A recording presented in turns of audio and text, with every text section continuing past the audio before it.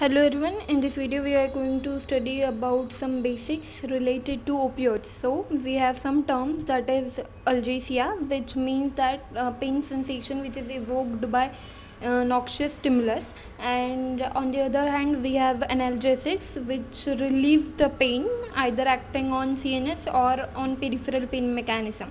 So these analgesics are divided into two categories that is narcotic, opioid like or morphine like analgesics and the other is non-narcotic, non-opioid and aspirin like analgesic. So focusing on opioids these opioids are the substance have action related to endogenous opioid peptide so these are derived from one plant that is opium poppy papaver somniferum and uh, we have two different terms to define this. That is opioids and opiates. So opioids are the substances which are derived from this plant but their structure is not related to morphine. And other are opiates which are derived from the same plant but they are rela- structurally related to morphine. So they possess some certain characteristic. That is they inhibit the responses to painful stimuli they control emotions certain GIT activities and autonomic and endocrine function. They also participate in reward pathway and uh, responsible for addiction. And they also control learning memory and cognition. So moving toward the endogenous opioid peptides. So this endogenous opioid peptides are divided into three categories. That is enkephalin then endorphins and the last one is dynorphin. So all these are derived from different precursor polypeptide.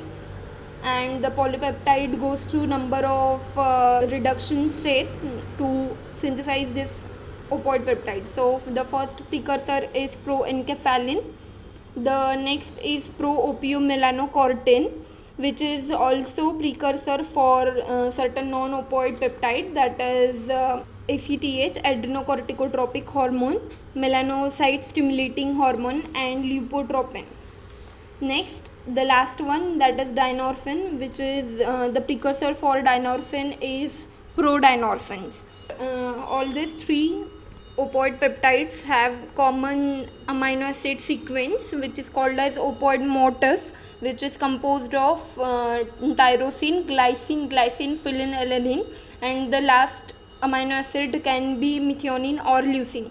Based on this enkephalins are divided into two types met enkephalin that is methionine enkephalin and leucine enkephalin because of the last amino acid there are three endorphins that is alpha neoendorphin beta neoendorphin and beta endorphin.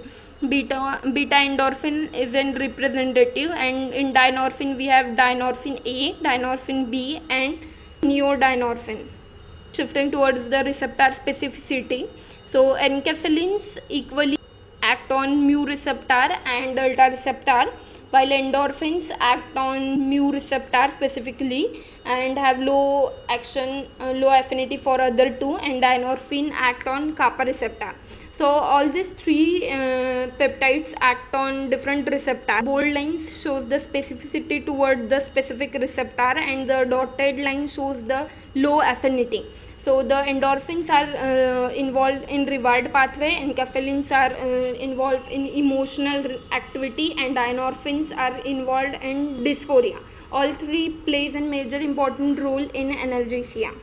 Opioids shows their action by acting on the three types of opioid receptor mu kappa and delta the mu are then further divided into two types mu1 mu2 depending upon the affinity for the morphine that is uh, morphine have high affinity for mu1 than the mu2 so specific agonist uh, for mu is endomorphins 1 and 2 endorphins enkephalins and dynorphin the agonist for kappa receptor is dynorphin keto uh, and uh, for delta is enkephalin and the specific antagonist for mu is naltrexone and nalbuphine for kappa uh, or vinyltropamine and the antagonist for delta is naltrindole. Then opioid receptor are G protein coupled receptor which are specifically present on prejunctional neuron and therefore they control the release of other neurotransmitters. So this have a typical structure of G protein that is 7 transmembrane helical along with G protein molecule.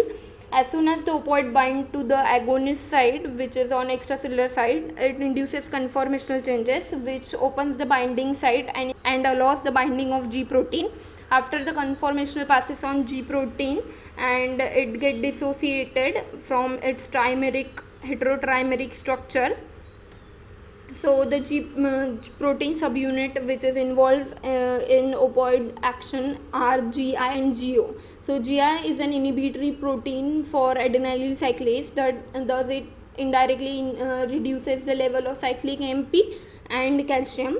GO uh, causes the efflux of potassium and inhibit the influx of calcium. So both the action will result in reduction in the intercellular concentration of calcium which lead to the hyperpolarization of uh, prejunctional neuron. Thus, it will result in decrease in the release of neurotransmitters. If you understand the concept, then please like and share the video.